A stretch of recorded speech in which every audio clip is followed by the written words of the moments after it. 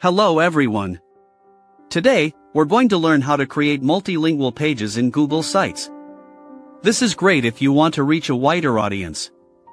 It can seem tricky, but I will break it down step by step. We'll cover how to duplicate pages. We will also discuss how to translate the content.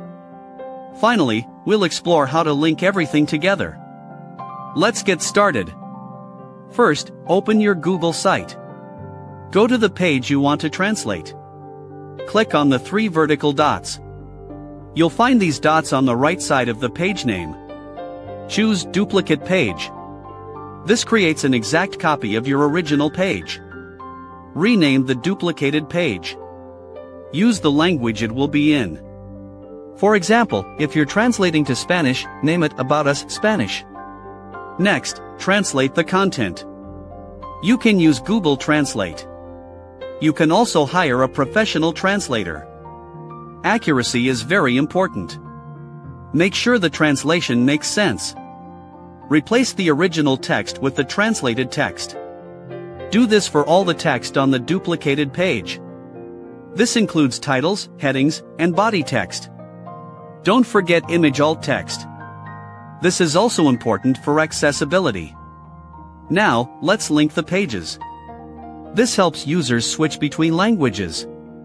Add language links to your navigation. You can add them to the header or footer. Consider a language drop-down menu. Create a button that says Espanol or English. Link each button to the appropriate language page. Make sure the link is clear. Users should know where it will take them. Test the links. Ensure they lead to the correct translated page. Use flags. Flags are a visual way to represent languages. However, be cautious. Flags can sometimes be associated with specific countries. The language might be spoken in multiple places. Consider using language codes instead. EN for English, ES for Spanish, and so on. Regularly review your translations. Languages evolve over time. Update your translated pages as needed. Keep your content consistent across all languages. This maintains a professional look and feel. Remember to publish your site. Without publishing, your changes won't be visible. Check all the translated pages after publishing. Make sure everything looks right. Congratulations! You now have multilingual pages in your Google site. Remember to keep your translations updated. This will help you reach a global audience. Thank you for watching. I hope you found this helpful.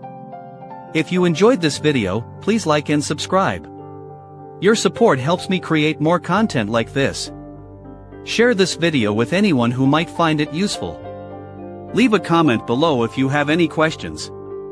Tell me what other Google Sites tutorials you'd like to see.